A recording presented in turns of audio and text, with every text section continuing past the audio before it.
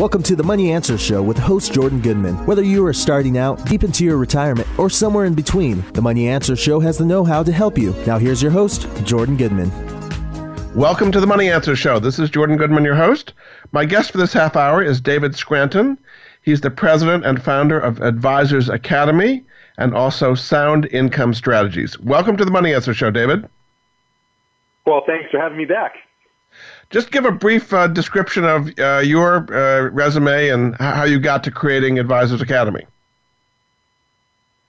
Well, really, it kind of started out of luck. It was back in the late 1990s. I became really concerned about the stock market, uh, that we're going to take a turn for the worse, and that would probably last a while.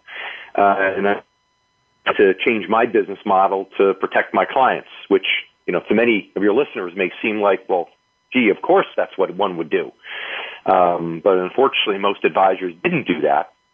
Um, so I went to a specialty of really specializing in, like I like to call it, the universe of non-stock market income generating strategies. And that's what we've been doing now for the last 20 years of my career. So we're in a situation now, we've had rising interest rates. The Fed Reserve has raised rates three times so far this year. What is your expectation of what the Fed's going to be doing going forward are they going to raise rates more or are they going to pause? They are going to raise rates more, but I believe they're going to slow down.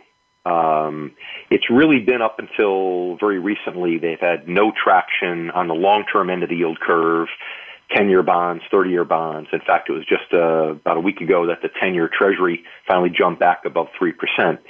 But every time they raise short term rates by a quarter, the 10 year treasury goes up by maybe about a tenth of a percent.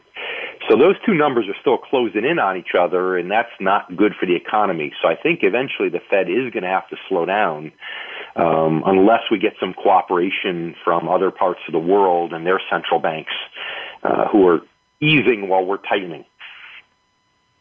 Why is it that you think that the yield curve has been flattening, meaning that short term rates have been moving up a lot more than long term rates? Well, it has. Um, short term rates have been coming up. Um, it seems like every quarter point uh, that they go up, long term rates go up by about half that. And uh, we just we haven't had a, enough cooperation on the long end. Um, you know, the difference between the two-year Treasury and the 30-year Treasury is only about four tenths of one percent. So think about that, right? You're going to lock your money up for another 28 years, right? Going from two to 30 to get four tenths of 1%. Uh, that doesn't sound very appealing to a lot of people. And so it is flattening.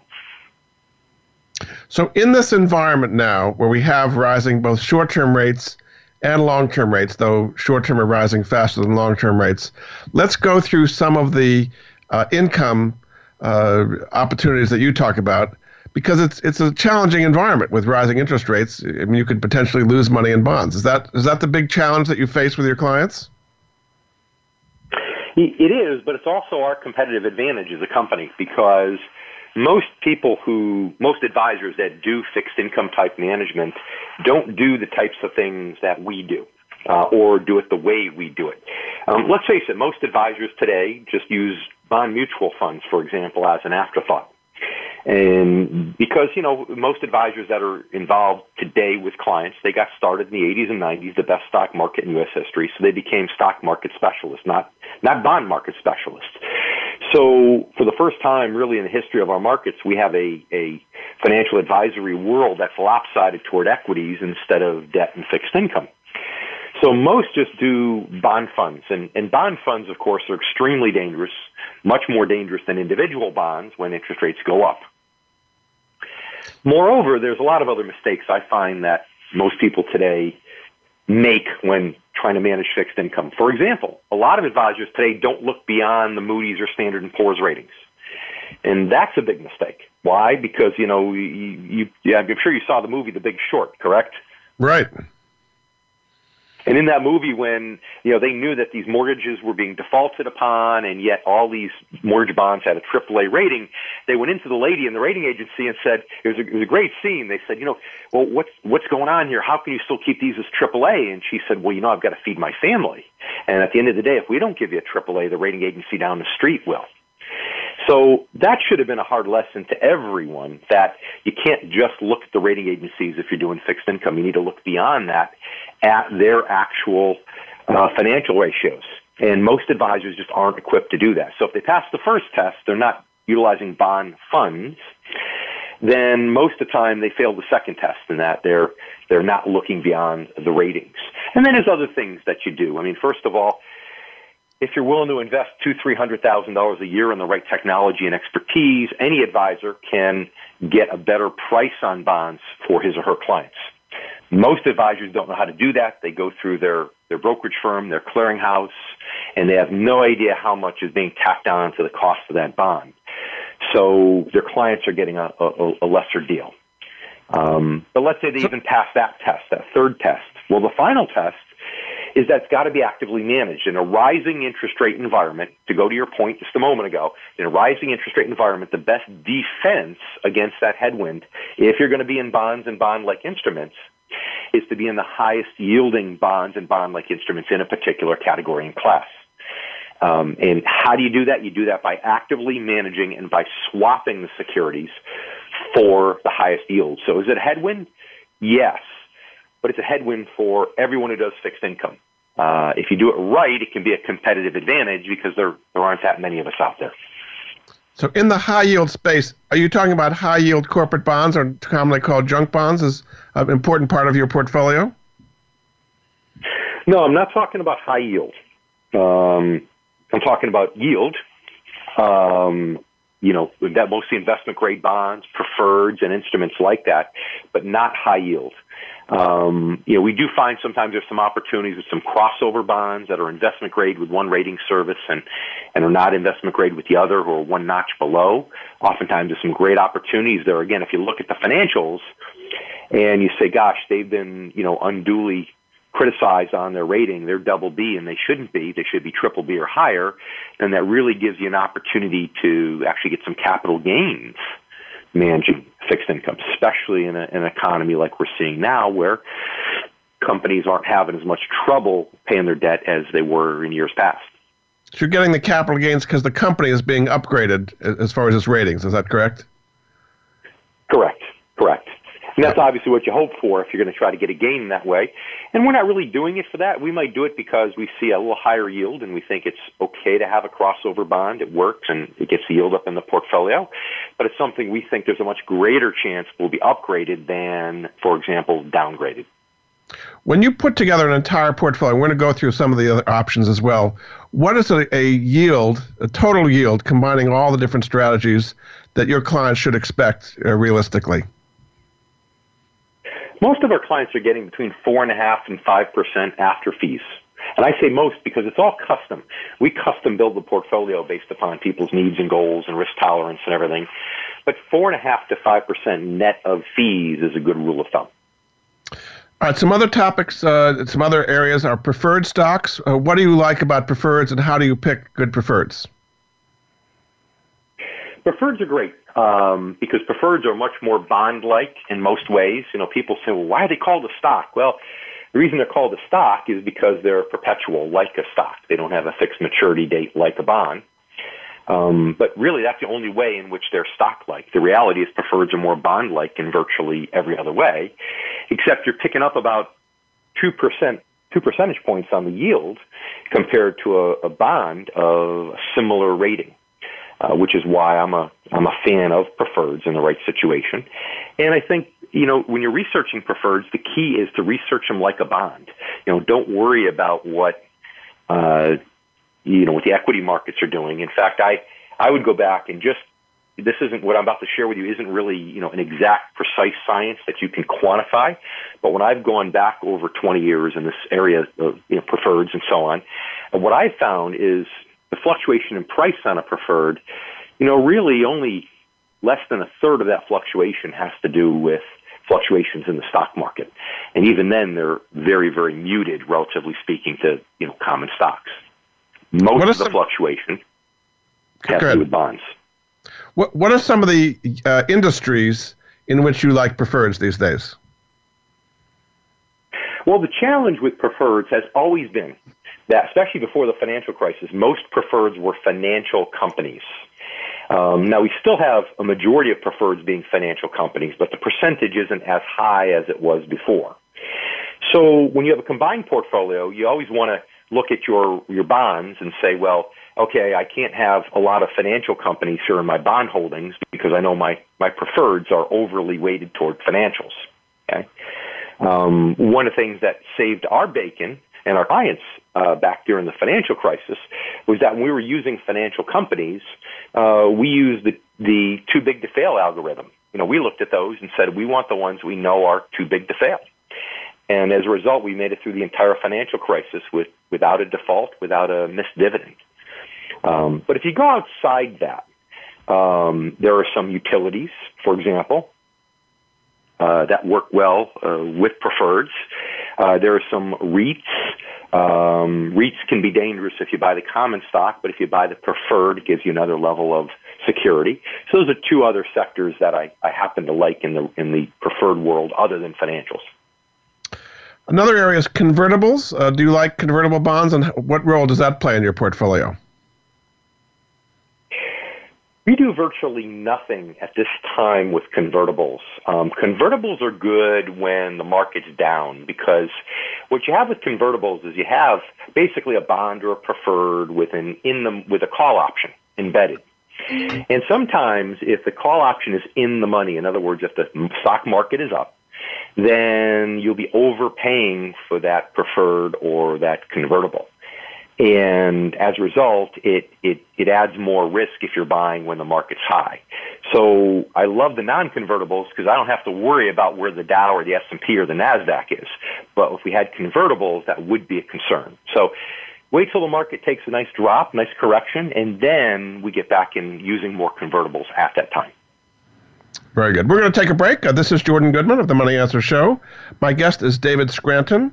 He's the founder and president of the Advisors Academy and also Sound Income Strategies. You can find out more about that at soundincomestrategies.com. We'll be back after this.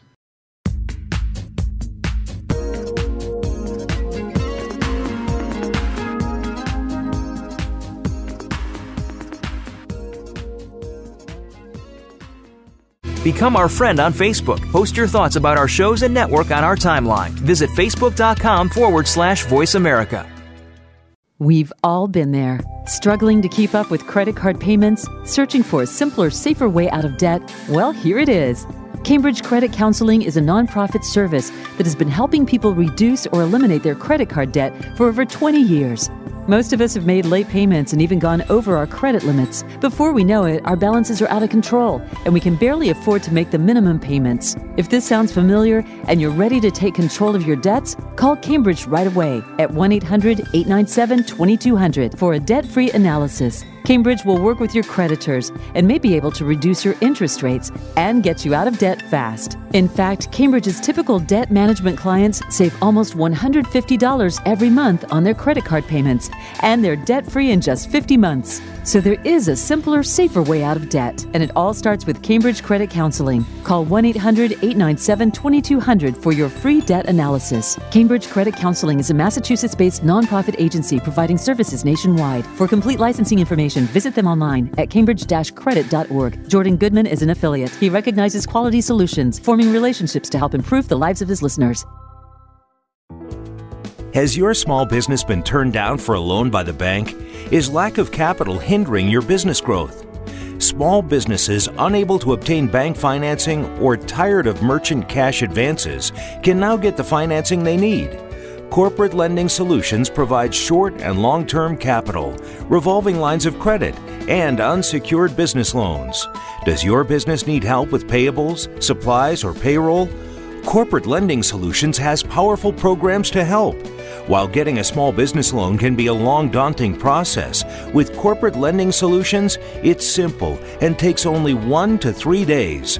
Call 800 261 6478 or visit corporatelendingsolutions.com to learn more.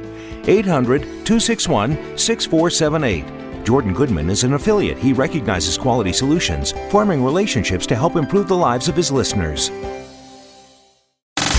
Have you friended us on Facebook yet? Why not? Just go to facebook.com forward slash voice America or search for the keywords voice America. Once you are part of our Facebook network, you'll receive daily messages about what's happening with our shows, this week's featured guests, and new happenings at the Voice America Talk Radio Network. And you can add your voice to the always active discussions on our timeline. Just go to facebook.com forward slash voice America or search for Voice America. You've been listening to the Money Answer Show with Jordan Goodman. If you have a question for Jordan or his guest, please call us now at 866 472 5790. That's 866 472 5790. Now back to Jordan. Welcome back to the Money Answer Show. This is Jordan Goodman, your host. My guest this hour, this half hour, is David Scranton. He's the president of Advisors Academy and also the founder of Sound Income Strategies. His website, soundincomestrategies.com. Welcome back to the show, David. Well, thank you. Good to be back here. So we talked about individual bonds, preferreds, convertibles. Let's talk about some other income strategies that you recommend. Uh, business development corporations or BDCs. What are the pros and cons of those? Okay, so now we're getting a small step fancier, going from bonds to preferreds and, and ultimately preferreds to BDCs.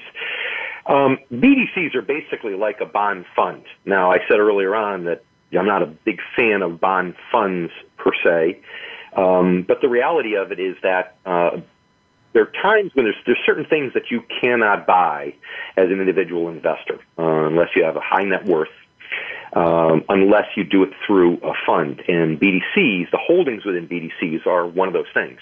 Uh, BDCs basically have different loans inside them to corporations that normally could not do an initial public offering. Maybe their companies aren't big enough or don't want to incur the expenses of going to do an IPO and float a whole issue of bonds. So instead, um, they they borrow money privately. So a BDC is basically a fund that turns around. It's, I guess it's more like a, you could say it's more like a closed-end bond fund, uh, which raises money. The BDC itself raises money and then turns around and lends that out to small medium-sized businesses. Um, where, where BDCs, so BDCs become a little riskier because now, because it's essentially a fund, if you will, at any given time, yeah, the price of the loan could go up and down with interest rates and, and other factors, you know, probabilities of default and so on. But moreover, uh, now the fund itself can be overvalued or undervalued at any given time relative to the value of the loan. So it's like you have another variable mixed in. The good thing about BDCs in a, a, market like this where interest rates are on the rise is that a lot of BDCs, not all, but a lot of them have floating rate debt. Uh, which means a lot of them that do have this floating rate debt don't have the same interest sensitivity uh, which could drive down prices in a rising interest rate market. But you have to be careful. You know, BDCs, you're, you're loaning money to smaller or medium-sized companies, and sometimes the transparency of looking at what the holdings are in the BDC is a little bit challenging. So you really, really need to do your research within BDCs. Um, but if you're willing to do it, it could be a good thing for some part of your portfolio. Another area you look at are real estate investment trusts, both publicly traded but also non publicly traded REITs. Uh, you had talked about uh, REIT, REIT uh, preferreds earlier, but is there a case to be made for publicly traded common stock REITs, both uh, traded and non traded? Yeah, um, the non-traded REITs, I believe, are not as attractive as they were years ago. The big attraction of the non-traded REITs is, you know, they were issued at a fixed price, like ten dollars a share, and nobody really knew what these things were worth until they had a liquidity event, an IPO of sorts, five, ten, fifteen years later. So as a result, the managers could manage the REIT long term, like a private company. They weren't uh, subject to the fickle whims of Wall Street from you know quarter to quarter that was an advantage. The disadvantage is there's there's higher fees in a lot of these non-publicly traded REITs and so on. Well, the Obama administration effectively changed and, took away that advantage because now there's a requirement that periodically these REITs need to have their properties appraised, and that appraisal now gets reflected directly to the client on a statement. So all of a sudden, these managers of these non-publicly traded REITs do now, uh, for a change, they do now have to be worried about uh, the public and the concerns about prices going down. So when you take that advantage away and make it a disadvantage, and you, you look at something that's literally non-liquid, um, where if somebody wanted to sell it, they couldn't because there's no market for it. Uh, I find that those non-publicly traded issues have become far, far less popular. Now, the publicly traded REITs are, are certainly there's a place for them. Um, and, you know, REITs are stock of a company that owns rental property. So you have to look at what's behind there, what's in the REIT, what kind of rental property is there, as well as the financials. So with REITs and BDCs, you have those two extra levels of scrutiny that you don't have to deal with in, in when, you, when you're looking at, uh, your actual bonds or preferreds, but you do have to be careful. And um, you know what we do to mitigate the risk, for example, in a portfolio, is we would say that the most we'll put in BDCs is maybe 15 or 20 percent of the income portfolio, and as a result, we'll take that and we'll actually. Uh, uh, you know, limit it to that amount, and we'll have five different holdings within that 15 or 20 percent. And on REITs, uh, we'll typically go no higher than 10 percent, and have at least seven different holdings. So each holding is only one and a half percent. That's how we mitigate the higher risk in BDCs, and, and even risk higher than that ultimately in in REITs. You know, and you're keeping it. You're keeping it to the publicly traded REITs at this point because of what you just said. You're not doing the private REITs anymore. And even the publicly traded REITs, yeah, even the public, you're correct, but even the publicly traded REITs are going to be limited to 10% of the portfolio, and each holding might be 1.5%. Um, because again, there's extra risks there in real estate. Real estate REITs are every bit as interest rate sensitive. I would say they're more interest rate sensitive in many ways than even a bond or preferred. Why? Because uh, the cost of carry on a lot of these properties is tied to a floating rate. So therefore, the mortgage interest rate basically has gone up and all of a sudden, the higher interest rate environment, that income looks less attractive. So it kind of sort of takes a, a double hit. So we've been we've been significantly have reduced our holdings in REITs now over the last year, year and a half, uh, waiting for the best opportunity to to get a heavier weighting into that REIT sector. Another area you look at are annuities, both indexed annuities and fixed annuities, what role should annuities play in your client's portfolio wanting income? Jordan, I'm not sure we have enough time to talk about annuities on this show because they're they're the good, the bad, and the ugly. They're the most controversial, um, and unfortunately, some annuities give give the annuity world an overly bad rap. Uh, but yeah, a fixed annuity is simply like a bank you know, insurance company's version of a bank CD. Today you can get 4%, some fixed annuities, and that doesn't sound bad to a lot of people. Um, indexed annuities are similar, only the interest rate is calculated differently. So for people who want to be really conservative, who even cringe a little bit at the concept of maybe preferreds, uh, for that person, oftentimes the REIT is the better answer. Or sorry, the, the annuity is the better answer because the annuity is insured by an insurance company um, and the insurance companies are ultimately backed up by each state guarantee fund, depending upon the state in which the, the, the insured is a resident. So again, for a really conservative person or somebody who's looking for a guaranteed lifetime income, that's the Cliff Notes version of where the annuities can fit in. Uh, and so, uh, but it's something you have to commit to for long term because there's all kinds of uh, prepayment penalties, and and uh, if you get out of it early, you can get hurt, right? You know, it is, but it's really no different from a bond or a preferred or any of that stuff because you could buy a 10 year bond or a 10 year annuity. And if you get out early, you could have a loss on the bond, you can have a penalty on the annuity. So it's really the same type of thing. Uh, in the annuity, you know exactly what that loss would be if you got out early. In a bond, it's a little bit of a crapshoot you know, you, you, you just hope maybe that it's not down if you want to sell early. So I look at all the entire income world as being very much the same. That if you want to make money on your money, you have two choices: either go in the stock market and use risk in hopes of doing better, um, or commit to a time frame to do it in a more secure way through any of these types of instruments that we're talking about today. In roughly two minutes we have left, why don't we kind of sum up what an income investor is facing in this era of rising interest rates and how you can help them uh, do better than they probably would be doing on their own? Well, it's interesting. Most income investors right now listen to their brokers and they think all they're going to get in bonds and bond like instruments is two or three percent. When they realize that they can make just about double that they're often surprised, pleasantly surprised. And doing it on your own as an investor is really troublesome. Most people have never bought individual bonds outside of savings bonds, and and and frankly, most of them have taken the shortcut and bought bond funds. Um, but you know, there aren't many chiropractors that become orthopedic surgeons. There aren't many orthopedic surgeons that become chiropractors, and frankly, most of each of those don't recommend the other.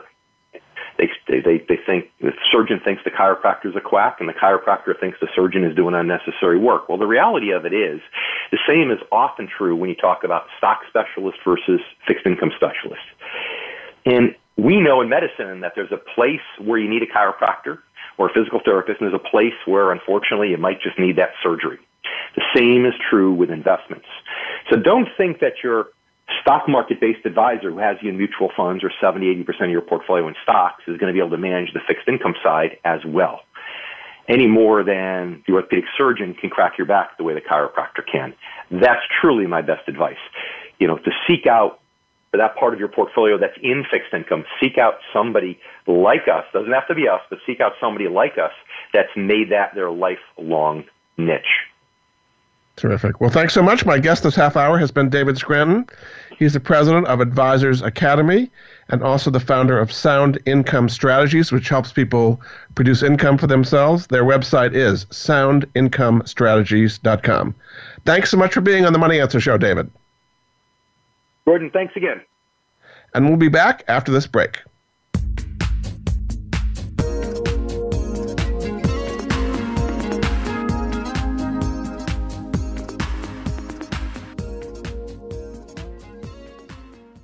Become our friend on Facebook. Post your thoughts about our shows and network on our timeline. Visit facebook.com forward slash voice America.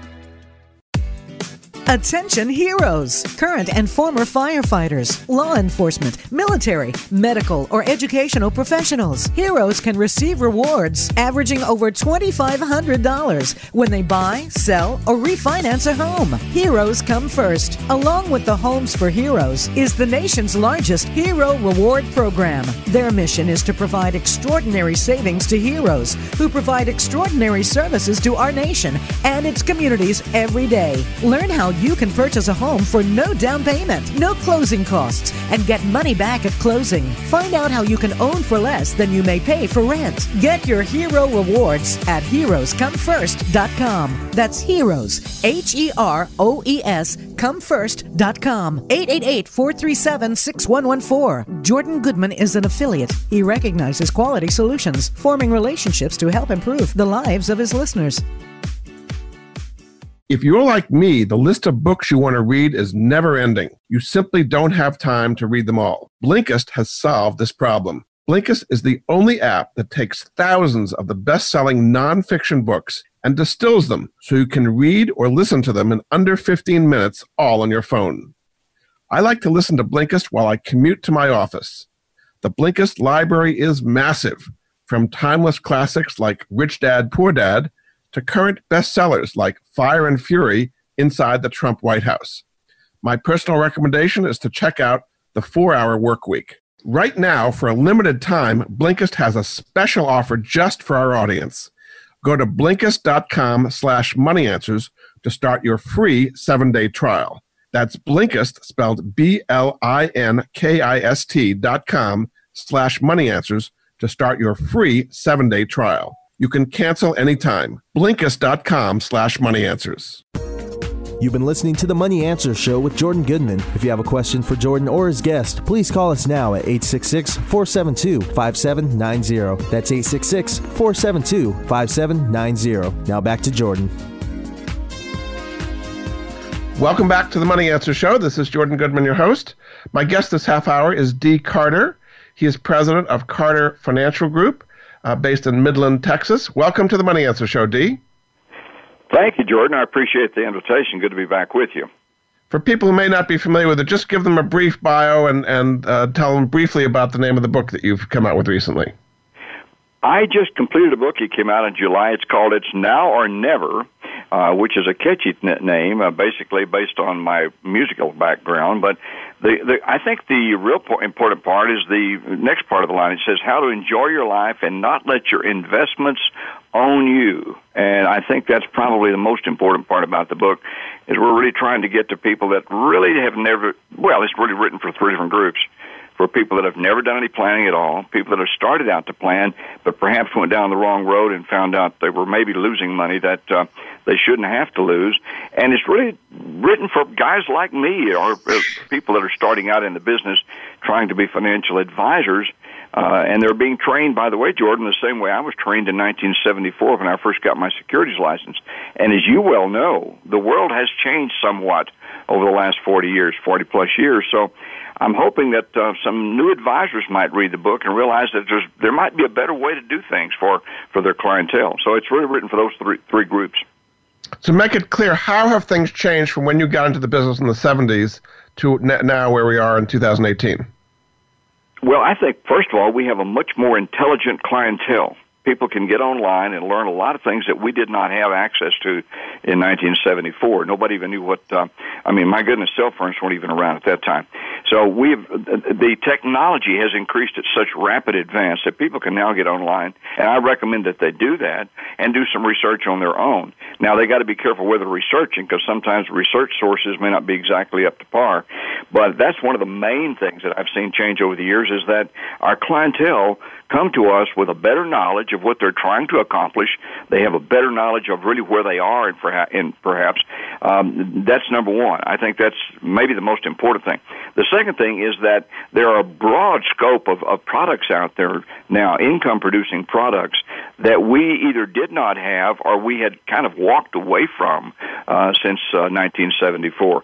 Uh, we've been really kind of pushing the growth end of the market really, really stringently. I, a lot of the guys, that's all they ever think about is growth, growth, growth, and how to become millionaires instead of how to save your money and how to make sure that your income is there. So we really have developed over the years a better knowledge of income producing products and how they can be just as strong basically as, as growth products and remove perhaps up to 70% of the risk factor. Those are the two main things and that's one of the, the two reasons that I wrote the book. So, what are some of the income strategies that you uh, think are good today that were not available when you started in the 70s? Well, they were available, but I think people have walked away from them. Uh, there's nothing wrong with, uh, for example, bond and bond-like instruments. Uh, that's one of the things that we really, really do stress is that there are not bond funds because, as you well are aware, bond funds have no guaranteed interest rate and they have no guaranteed maturity date. So what we try to push people toward, if they're looking for income, uh, is to put them their money into a good, strong bond fund, or bond rather, that will pay them a guaranteed rate of interest that compounds and grows over over a period of time, uh, we found that we can do that very successfully and perhaps even get them as good a return, even sometimes even a better return than they could with the stock market based on the ups and downs of the market. They're there, but because the greed factor and the fear of missing out factor have become so prevalent in, in retirement planning and in investments, people have kind of walked away from the safe things that happened years ago. I remember when I first got in the business, and this is a long time ago, Jordan, but when I first got in the business in 1971, I've been doing this now for 47 years.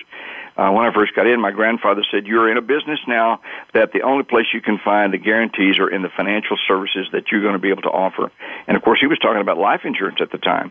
We still do life insurance occasionally uh, if it's called for, but most of our instruments now are in the bond market, uh, perhaps preferred stocks because of the guaranteed interest rate and the guaranteed dividends that we can obtain. Sometimes ETFs, depending upon uh, exchange traded funds, depending upon where they're uh, putting their funds and where the bonds are.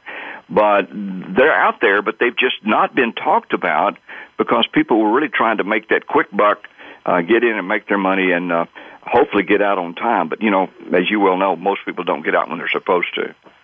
Let's talk about the ETFs briefly. What are some ETFs that you like today uh, for producing solid income?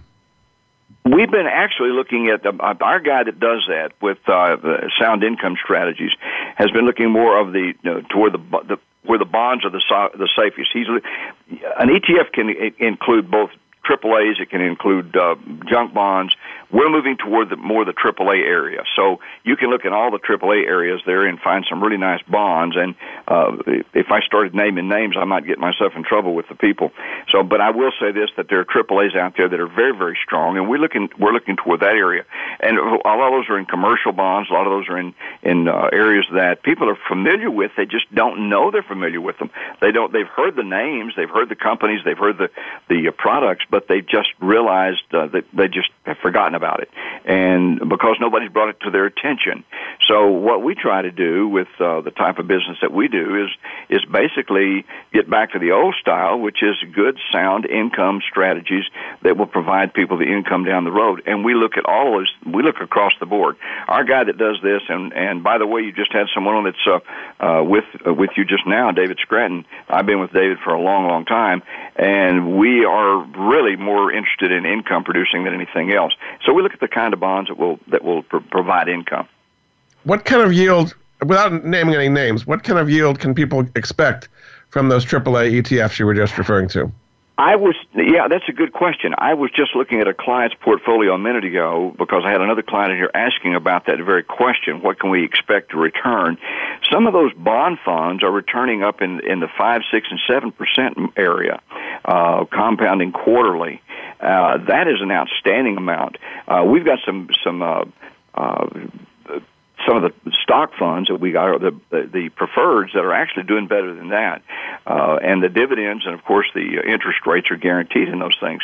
So we're looking anywhere from a, a, a strong five and we're, we've been able to get five without almost any difficulty whatsoever, and uh, and sometimes even more than that, depending on where they are. So it really depends on the location of the bond, who who the bond uh, issues, and and and how it works from there. But we're seeing five and up we're seeing five. I've I've seen some returns, quarterly returns this last quarter that are actually in excess of eight percent, uh, and that's re- um, unbelievably good. But yeah. it's because of the way the bonds were, were set up. So we have a rising interest rate environment now. Both short-term rates are rising as the Fed yes. raises rates, and long-term rates are going up. The ten-year over three percent these days. So how do you manage an income portfolio in a rising interest rate environment? You have to really watch out for your market. You really have to watch out what's available.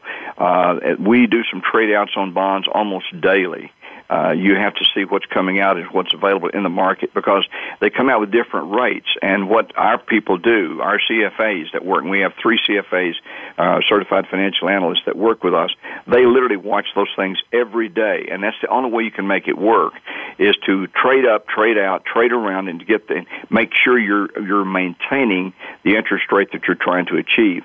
So it really takes somebody that's watching it constantly. Thank goodness I don't have to watch it constantly because we have someone with sound income strategy that does that for us. But that's exactly the way you do it. You have to manage what you've got and look daily, literally watch daily what's out there. Uh, and that's what we do, and we've been doing it quite successfully now for the last year and a half. So you have in your book what you call Dee's directives, and let's just go over some of those yeah. briefly. You say to max out your 401k. Uh, isn't everybody maxing out their 401k? Why do you need to tell people to do that?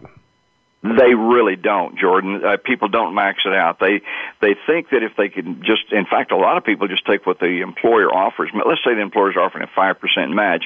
They think, boy, that's great. I can uh, get five percent on my money on what I'm putting back. What they don't realize, is if they put five percent back themselves, they're getting 100% on their money immediately, uh, depending on what the market does.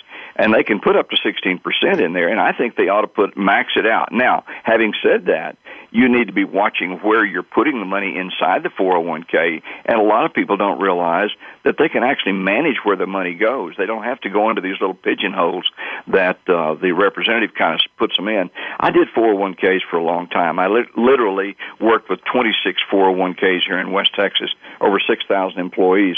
I spent most of my time talking to people that were really concerned, but a lot of people would just let you, we'd evaluate where they were, what their, I call it threshold of pain. A lot of people call it risk, but I call it the threshold of pain. When it you you put your money back until it starts hurting, I guess. But uh, you can manage inside. You just a lot of people don't do it. They're more concerned about the here and now. I was on my radio program myself this morning, and one of the things I was talking about was that there's astonishing reasons that people don't uh, get ready to retire, and one of those is they they really don't focus on that 401k. They're comfortable with a withdrawal withdraw from their 401ks instead of leaving it. They re- retire or rely solely on the, re- the employer to do the thing, and they don't think that they need to get involved. Um, that is totally wrong. They need to be very much involved with their 401ks, max out what they can get as, as within reason, and, and then sit back and make sure that it works for them every year. Another thing you talk about is automating your savings plans. What do you mean by that? Well, you need to have money. I just had a man in here that talked about that. He said, How can I automate what I do? And I said, It's quite simple. We decide how much money you're wanting to put into the market or into the investment, and we will withdraw those funds from your savings account or whatever account you want to withdraw them from on a monthly basis, basis and you don't have to worry about it. It's going to be there every month. We're going to take it out of that account and put it, move it from one place where it's making like one tenth of one percent, and move it into something that's making you some some serious money for your retirement. So you need to automate it. If you can, you should. You, I tell people all the time: don't depend on your own memory to do it once a month. Don't depend on your wife to do it. Don't uh, really don't depend on any, even your advisor to do it. Make sure it's automatically coming out of one account where you're making very little money, going into another account that's designed for your retirement, and it comes out there automatically every month on the same day. Uh, that's automating your savings account, automating your plan, and we do that almost uh, weekly around here. Very good. We're going to take a break. This is Jordan Goodman of the Money Answer Show. My guest this half hour is Dee Carter. Uh, he is the president of Carter Financial Group based in Midland, Texas. Uh, his new book is called It's Now or Never How to Enjoy Your Life and Not Let Your Investments Own You.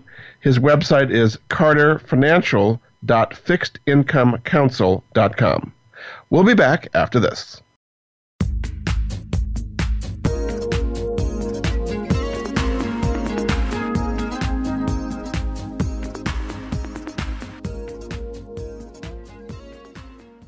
Become our friend on Facebook. Post your thoughts about our shows and network on our timeline. Visit facebook.com forward slash voice America. Attention heroes, current and former firefighters, law enforcement, military, medical, or educational professionals. Heroes can receive rewards averaging over $2,500 when they buy, sell, or refinance a home. Heroes come first. Along with the Homes for Heroes is the nation's largest hero reward program. Their mission is to provide extraordinary savings to heroes who provide extraordinary services to our nation and its communities every day. Learn how you can purchase a home for no down payment, no closing costs, and get money back at closing. Find out how you can own for less than you may pay for rent. Get your hero rewards at heroescomefirst.com. That's heroes, H E R O E S, comefirst.com. 888 437 6114. Jordan Goodman is an affiliate. He recognizes quality solutions, forming relationships to help improve the lives of his listeners. If you're like me, the list of books you want to read is never ending. You simply don't have time to read them all. Blinkist has solved this problem. Blinkist is the only app that takes thousands of the best selling nonfiction books and distills them so you can read or listen to them in under 15 minutes, all on your phone. I like to listen to Blinkist while I commute to my office. The Blinkist library is massive, from timeless classics like Rich Dad, Poor Dad to current bestsellers like Fire and Fury Inside the Trump White House. My personal recommendation is to check out The Four Hour Work Week. Right now, for a limited time, Blinkist has a special offer just for our audience. Go to Blinkist.com slash moneyanswers to start your free seven-day trial. That's Blinkist, spelled B-L-I-N-K-I-S-T dot com slash moneyanswers to start your free seven-day trial. You can cancel anytime. Blinkist.com slash money answers. Have you friended us on Facebook yet? Why not? Just go to facebook.com forward slash voice America or search for the keywords voice America. Once you are part of our Facebook network, you'll receive daily messages about what's happening with our shows, this week's featured guests, and new happenings at the Voice America Talk Radio Network. And you can add your voice to the always active discussions on our timeline. Just go to facebook.com forward slash voice America or search for voice America. You've been listening to the Money Answer Show with Jordan Goodman. If you have a question for Jordan or his guest, please call us now at 866 472 5790. That's 866 472 5790. Now back to Jordan. Welcome back to the Money Answer Show. This is Jordan Goodman, your host. My guest this half hour is Dee Carter. Uh, he is a financial advisor, president of Carter Financial Group based in Midland, Texas. Uh, his book is called It's Now or Never, and his website is carterfinancial.fixedincomecouncil.com. Welcome back to the show, Dee. Thank you, Jordan. I appreciate it. So we're going through your directives. The first one was to max out your 401k. The next one was to automate your savings plans. The next one you're saying is to live, uh, not don't live within your means, live below your means. What do you mean by that? Well, a lot of people try to push that envelope a little bit. They will spend exactly what they make each month, and as, if you do that, you're obviously not going to get anywhere with your savings program and your retirement program. So what I actually tell people to carry a little notebook in your pocket, literally every day, and write down for a month everything you spend. I mean everything. If you buy a candy bar, write it down. At the end of the month, you're going to find out that you're not only living beyond your means, you're actually spending money that you could be putting at a better place, and you're spending on things that you really don't need at the time. So I tell people all the time, you you need to learn not just within your means what you're making, but you need to learn how to live below them. That is, uh, be a little more conservative.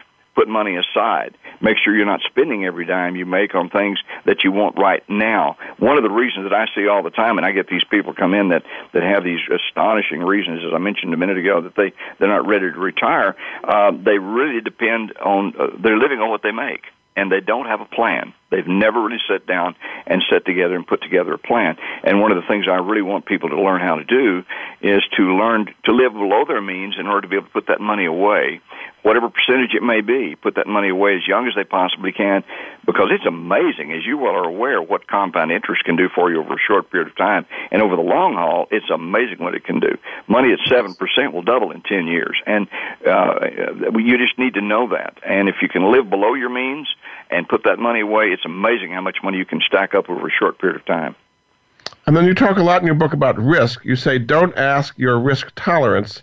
Ask, why do you want to risk what you spent your entire life building? What do you mean by that? Well, a lot of people go into a planner and they will they will try to figure out what their risk tolerance is. They will say, how much money do you want to have in the market? How much money do you want to have in these various places?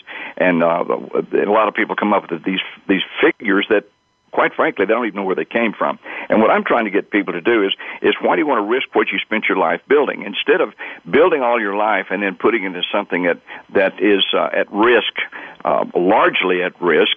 You should be the older you get, the less money you should be putting at risk. You ought to be putting money out there that is secure and as safe as possible, so that when you reach a certain point in time, you know you're going to have it. You're not going to have to worry about whether your money is going. to... That's one of the reasons I wrote the book. How to enjoy your life and not let your investments own you. I find too many people coming in my office that have really um, put money out at risk when they're in their 60s and 70s, and you'd be amazed how many people come in here in their 70s, and I find that they're 100% in the stock market. Uh, that is, why do you want to risk what you spent your life building? Don't worry about your risk tolerance. Worry about what you're going to have at the other end. And we really want to sit down with people and explain to them there's there might be a better way. There is a better way to guarantee their income. So don't don't ask what your risk tolerance is. I really don't care. As I mentioned earlier, I'm, I mentioned this kind of like the threshold of pain. How far can you go before it starts hurting? Well, you look up in the market like it did in 2008 and see you've lost 40 to 50 to 60 percent of your retirement package or your or your bundle that you're trying to put together now you're hurting. Now that's not just risk tolerance, that's real pain. So what I yep. tell people all the time, you don't want to risk what you've spent your life building. Let's put some money back in places that will be safe for you, as safe as possible, that you know you're going to have when you hit uh, 65 or 70 or whatever that magic number is that you come up with in your own mind. Another of your directives is about Social Security. You say to count Social Security, but don't count on Social Security. What do you think is going to happen to Social Security in the long run? Well, if they don't do something pretty quickly, as as you're aware, things should get really bad about 2033 for the people that are going to retire about that time or later and start uh, trying to withdraw and live on that. The average Social Security check today is is less than twelve hundred dollars, and the maximum is twenty seven hundred and eighty eight this year. So, uh, can you live on that? Not really. I it's it's that's one of those rhetorical questions. When I ask the question in my seminars, can you live on your Social Security? I've yet to have someone say yes. Uh, unless you can live like a church mouse, I don't think you can do it. So what I'm trying to get people to understand is you can count on it if you're under a, a certain age, but you don't want to count it to being the all in all. It's not going to be your all in all. It's it was never designed for that. Actually, it was designed to help people with with their retirement, but not to be the whole thing. So you can count on it right now, but don't count on it in the future because if we don't do something about it, and uh, you know, Ronald Reagan in 1985 pushed the re- normal retirement age out to to uh, 67. Uh, that was a stopgap. That was kicking the can down the road.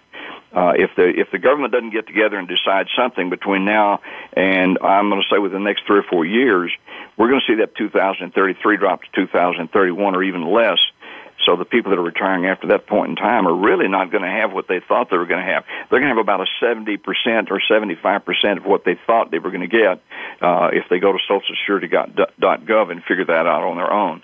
Uh, we've got to do something. The government's got to do something, or we're literally going to see that uh, discount hit us or hit those people retiring at that time to the tune of 20 to 25 percent. So, what do you think the government is going to do in the next three or four years? Wow, if I boy, if I had a crystal ball, I could answer that question. I know what they generally do. They kick it down the road. That's the way the government has been uh, as long as I can remember, and I've been involved actively in most government situations for the last 45 years. They don't want to make that kind of decision because it's a job killer for a congressman. If he says he's going to change Social Security, he can almost be assured not to be reelected uh, at the next term. So what they're trying to there's there's ways to do it they could raise the tax on the uh, which nobody wants to do. We're paying 6.2 now of our money up to a to a level of about 148,000. Uh, if they could raise that to 6.3, but that's kicking the can down the road again. Uh, and that means people like the, those of us who ever own businesses are going to be paying 12.6 instead of 12.4 because I pay both the employer and the employee side on my Social Security. That's one way to do it. The other way is to to raise the normal retirement age, like Reagan did. Uh, he moved it back to 67. I can see them doing that before anything else, probably moving the retirement age to 68 and 69, and perhaps even as high as 70. If they do that, they haven't really solved the problem. They've just pushed it down the road for another generation to come along and solve. Uh, there are the only way to redo this thing is to start over, and I think that the way they invest the money has to be changed to to a certain extent. Uh, there may be they maybe have to let some of the private factors invo- get involved, like George Bush tried to do. Uh, he was only talking about two percent, and it was a you you remember the hue and cry that came up from that yes. situation. Yes, there there are ways to do it, but I'm not sure that any of them are viable. Now you talk about hard truths. One of your uh, directives is to find an advisor who will tell you the truth, even the hard truth. You think a lot of advisors don't want to tell clients the hard truth? I don't think a lot of them do. I have pe- too many people come to my office and and give me their their advisor's story or what they've heard from their advisor, and it's mostly pie in the sky and blue sky and and smoke up their sleeve, and they don't want to tell them the hard truth. The hard truth is simply this: you can't depend on the market to, to solve your problems you, you really have to depend on yourself, and you have to really take a really hard look at what you're trying to accomplish. I really believe that, uh, and I tell my clients the truth, and they don't like it sometimes. If they come in here and say, "Well, here's what I've got in the market, and I'm depending on being able to draw out, you know, that four percent for the old Monte Carlo method," which, by the way, just gives you a ninety percent chance of success. Never have like those odds. Uh, if you do the Monte Carlo and draw four percent a year, you're supposed to have a ninety percent chance of not running out of money. Well, that gives you a 10% chance of running out. To me, that doesn't make a lot of sense. And by the way, that 4% has been dropped by Morningstar recently to 2.7%, so that can give you some idea of why you really have to tell these people the hard truth.